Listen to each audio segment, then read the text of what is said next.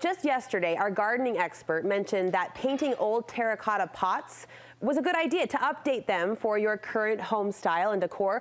Well, when you know, our creative guest was already on that task. She's always a step ahead. She is. Today, how to take a regular plant container and make it fresh and usable again with a new coat of paint. Not just any finish, however. Our project mimics the natural, expensive look of marble. Michelle Inkley is that woman who is always a step ahead. She joins me in the studio. You've been experimenting with this for a little bit. I've been following yes. you on Instagram. Yes, so I did it for my office because I needed art for my office. So I loved the pour paint and I loved that finish on a canvas.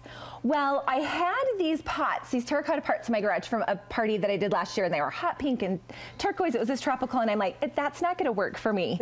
so I wanted to make them a little more neutral. You had to break up. I had to, yeah. With the hot pink terracotta Yeah, pots. I'm like, you know, that was great for the party, but not for my dining room set. So I thought, why don't I make them a little more natural and why don't I try the pour technique on it and see if I can't get that marbleizing effect. I have to attest, some projects look good from a distance, right? And we yeah. respect those for what they yep. are. These look awesome up close. I mean, the oh, texture oh, and the color are. play is really cool. They're so pretty. Yes. They really, really exceeded my expectations. So I was really excited for it. Okay, we're gonna apron up, right? Okay, and yeah. you're gonna show us how to do this. Yep, let's Here you go, lady. Thank you. What supplies do we need? So it is paint. It's okay, paint. yeah, that messy.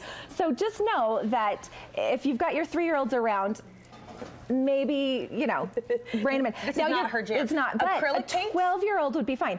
I use, you can use a lot of things. I use some Rust-Oleum. I love their Rust-Oleum metallic paints. Pretty. Are really good. I use a Sherwin Williams house paint. I just had extra house paint that I've been using. Okay and acrylic paints. It does take a lot of paint, so sometimes when you buy the tubes of acrylic paint, it would might use the whole tube. Okay, so you just know? be prepared. So be prepared. It does take a little bit of paint. I think it's the metallic paint though that I'm really loving. Well, it adds. You know, I downloaded some pictures of marble because I wanted to see the veining on it, mm -hmm. and they always had because that's how I kind of got my color ideas. They always had a dark vein, right? So when I used the pink, I would put a dark vein of like the gold in it. Or okay. if I did blue, I would do a silver. Okay. So, you know, you do need a one kind of dark color. so grab your white paint. Yes, this is your white paint. And you have to thin it out. If you do it super thick, it will still work, but it leaves a texture, which I kind of liked because it looked almost like it was concrete. Okay. It was a cool effect. But if you thin it out, you'll get more of a smoother effect. Now, this is different than the pour paint. We poured right on the canvas. This, Correct. we're gonna pour little drops of paint into our cup. So you're just into gonna take- Into our white? Into your white. Okay. So you're just gonna take the colors and just pour them straight. Yeah, oh, sorry, did I take all that color? Hey, you paint hog.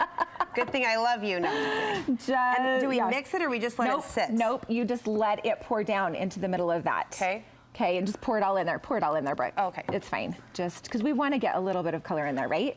And then just pour that darker color too in there. So mm -hmm. you'll mm-hmm. want a little bit of the darker color for that veining. Mm -hmm. Don't have to mix it. It can just sit there. Michelle, you took all the paint, lady. I, do you want this? Here, no. You take this. No. But I am going to show the camera what this yeah. looks like inside. So it's just all kind of pooled on top. Mm -hmm. You see that? Kind of, sort of, not really. But it's just pooled on top. It's not mixed yet. No. Okay. So now comes the fun, messy part. Now you want something to put your pot on uh -huh. to, so it can drip off, right? So we'll just keep that right here. So, so pick up your pot. That's the water bottle. Yeah, that. No, pick up your pot. Oh, yeah. Oh, oh, so oh. we're going to just, yeah. But you want some down on the ground as well. Please gotcha. do it with some, you know, surfacing. I like to hold my pot sideways. Okay. Okay, and then you just pour brick. Why is this so like, exciting? Uh, because this on. is so fun. So just pour along the top. Okay, okay. And watch, see how it just kind of drips on the What's side. What's happening? Keep just covering all. Just turning, rotating? Yeah, just rotating, rotating, and turning. Yeah, this does take a lot of paint, doesn't it? It does take a lot of paint. So, you know, it, it's not a and then, so once you have most of it covered, okay, mm -hmm, mm -hmm. and you're turning and you're turning, mm -hmm. it's mm-hmm. not gonna cover all of the areas. So go ahead and you can take your finger and just kind of um, jam along the outside there. Just spread it a little bit? Just kind of spread the areas that it's not quite covering, mm-hmm. okay? Mostly at the top because it will drip off the, off the bottom. Okay, so that's how you're gonna cover that top lip? Yeah. So, and if you need more paint, go ahead and just Well, funny, somebody side. took all the paint, so yeah, I was my. I, I kind bit. of am selfish that way. I kind of, you know, looking out for okay. myself.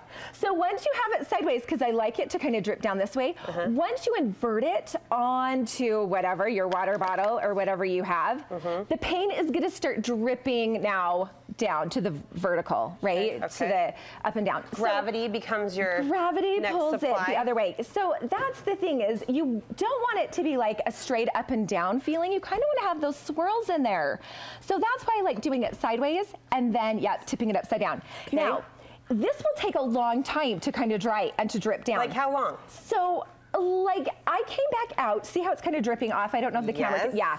So I came out after maybe I did like four or five of these and then after like a half hour I came and I ran my finger along the bottoms Okay. to kind of catch those extra drips. Right. Because I didn't want the drips to be um, on the lip of my top of my didn't want container. clumps. Yeah. So a few of them I missed the drips. So what you can do is if you feel like you have a drip after you've done it, you know, just hanging off, Uh-huh. just take a piece of sandpaper, lightly sand the drip off. And if you want to finish the top edge, you can either like gold leaf it, you can use these little paint pens, Right. go around the top. Do we care about the bottom? Oh, you did the, The bottom. bot- well, that one did. I just sat on the ground and poured on top of Okay, it. all right. But no, yeah, I don't. It sits like that, so Right. no, you don't have to worry about that. Now, if you are worried about the inside, you can always see. You can see my terracotta from my party there, my hot pink. But you can always spray that white Uh-huh. if you're really worried about it. But bottom line, you're going to be putting stuff inside this, and it's not going to really show that much. I love this. So just pop your I plant, and you're this. good. For a wedding, for your formal living room, for your fun So entry cute. table. I mean, the, the possibilities, the options are endless as far as use goes. Thank you so much. you're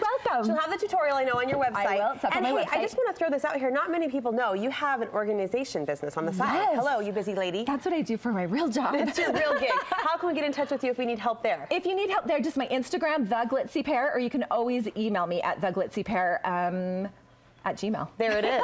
so yeah, you'll see inspirational projects. You'll also see inspirational organizing projects from creative to organization. So this lady inspires us in so many ways. Thank you, my friend. you, Brooke. Really fun.